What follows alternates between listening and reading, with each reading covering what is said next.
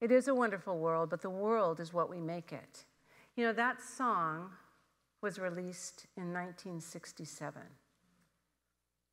It's about appreciating the beauty in the world and recognizing the kindness that exists even amidst chaos and problems and anger.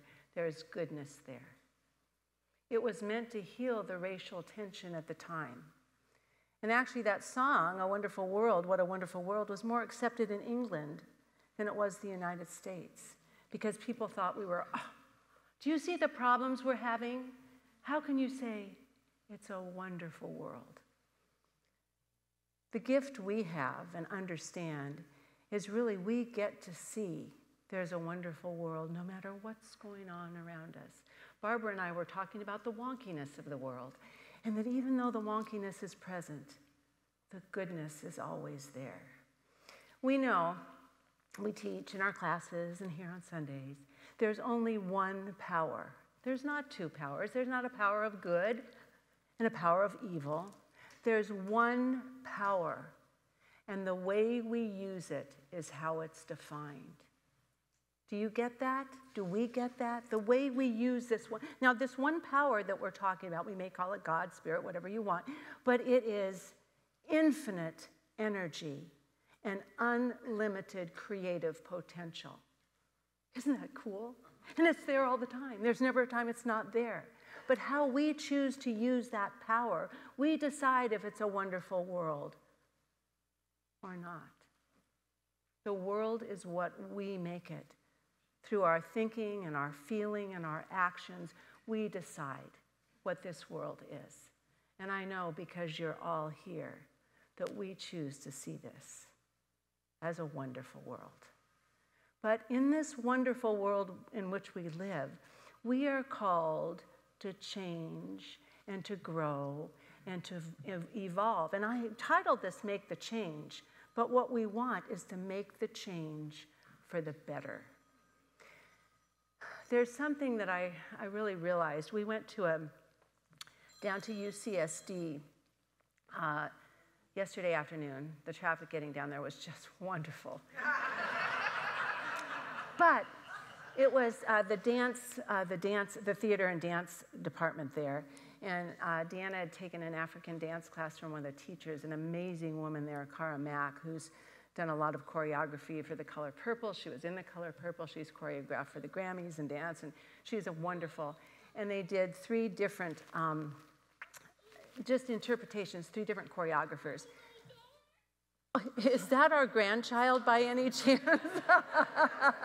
what a wonderful world it is. We hear babies cry for sure. It's perfect. But she started off, um, you know, and there was a, just a it was a small theater, but it was filled with people. We were the only ones that had a child there, a child under two, but that's okay. Um, she started out, and we didn't know what it was going to be about, but it was one of Martin Luther King's speeches. His speeches recorded, his voice. Now, I've used part of that speech many times, but I'd never heard it in its entirety and they had one beautiful black man doing, he was mouthing the, the reading of Martin Luther King in the mood and spirit while people were dancing around him. We thought we were going to be clapping, and we were you know, so emotional and so beautiful. But two things came up. They first came out with a flag that says, What's next in the dance? And the change happens now. The change starts now, which means we can change right here in this moment. But the piece of that speech that I hadn't heard before, I may have read it, but I hadn't heard it. When Martin Luther King was saying when he was in Atlanta and he had so dang much work to do. You know, he had so much to do, and his office was full, and he had lists of things to do, and they called him to come to this sanitation uh, conference in Memphis to help the sanitation workers get better wages. And he goes, How am I supposed to do that? I have so much to do. Do any of you ever feel like that? Well, I mean, it's just, he said, I can't possibly do it. What would it mean if I didn't go? Well, I'd get my work done. But his next question was, what would it mean to them if I didn't go? You know, instead of thinking, what would it mean for me? What would it mean for them? And what came to mind is here we're talking about make the change for the better.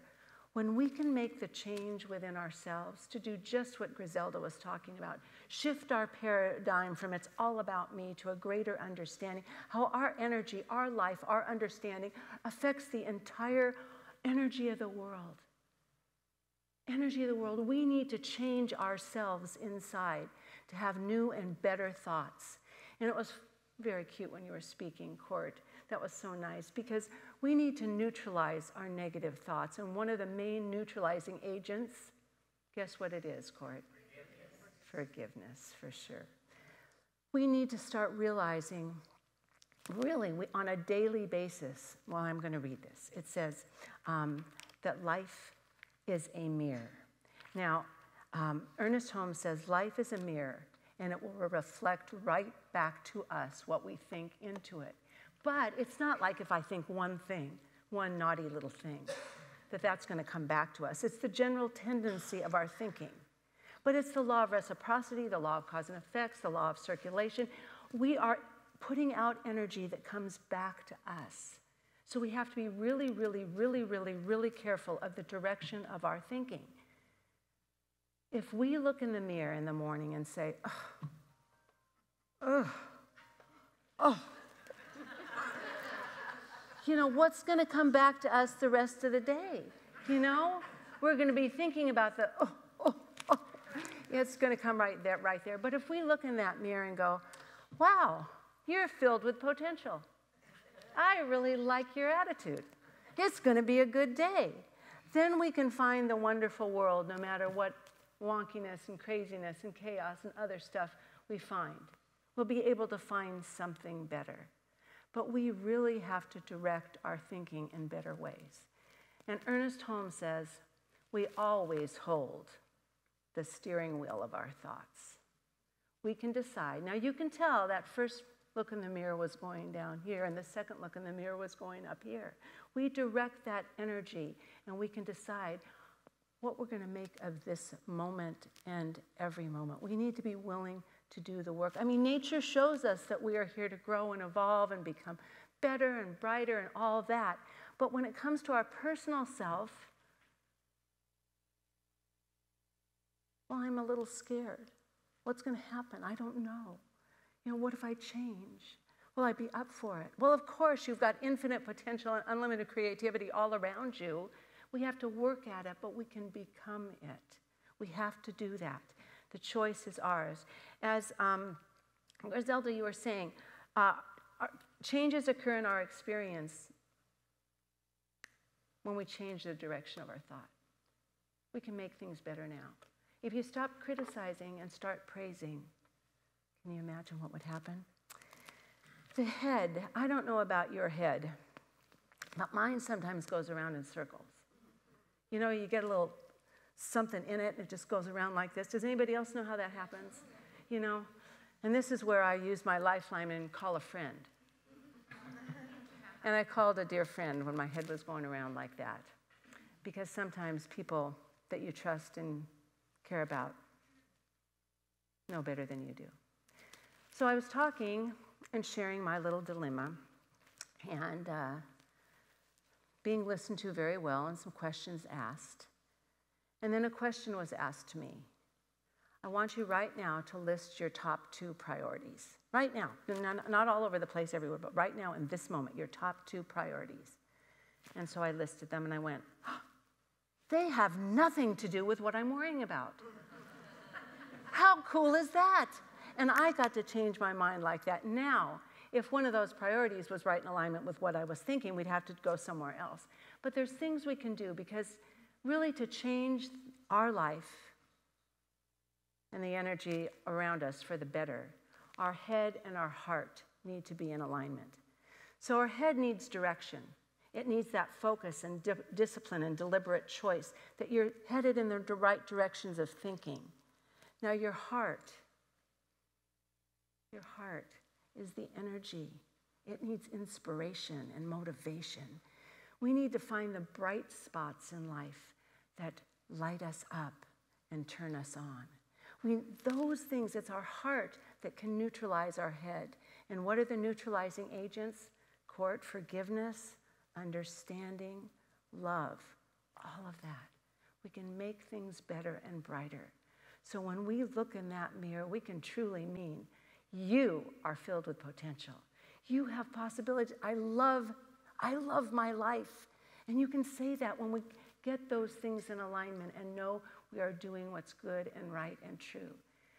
You know, often, I know I do, the world is big and it's overwhelming, and the troubles seem crazy. But I remember it's something I read a long time ago by Jane, Jane, Jane Goodall. And Jane Goodall, the primatologist, um, Gorillas in the Mist I love that.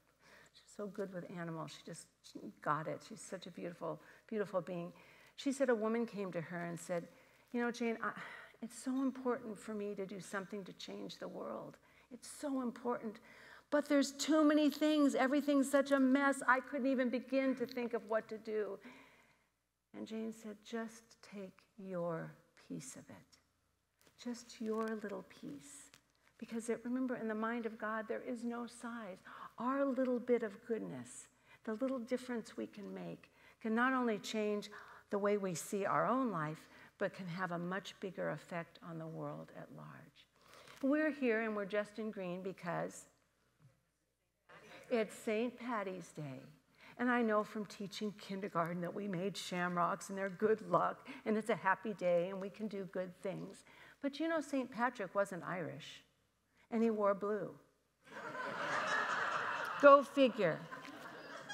You know, but what happened, he was English, and he was, mm, I think, 16 years old, and he went to his parents' summer house, and he was on the beach, and he got abducted by Irish pirates. And they took him back to Ireland, and he was a slave. So he came from a very Christian family, but he didn't really believe any of it until he got in a place of difficulty. And that's when his spirituality and uh, Jesus became a very big part of his life, and that helped him through this time of being a slave. And sometime in his mid 20s, he escaped and went back to England. But he didn't stay there. He went back to Ireland to share the goodness that had helped him through his time of being a slave, through the hardship. He helped the slaves, he helped the people lighten up, lighten up their lives. So the little shamrock, the three leaf clover, hope, faith, and love. He brought those.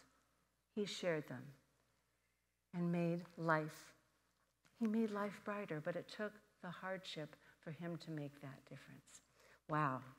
So if we um, if uh, we find our part, Ernest Holmes says, in the physical world, there are always things changing. In the spiritual world, God never changes behind the endless process of change, there is that which never changes. And that's what we depend on. And that's what we know is true. There's always something greater, a goodness that's waiting for us to open up and be, available. So will you stand up? Hey, it's St. Patrick's Day. Get a little, get a little life under your feet, you know. Um, so pretend you have a mirror in front of your face right now. Just pretend. You can just pretend it's there, hold it like that. And I just want you. I love the person I see in that mirror. Just say it. That person is filled with light. That person is filled with love. That person is filled with goodness.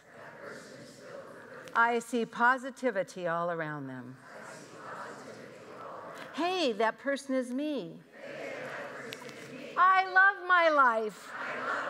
And so it is. God bless you all.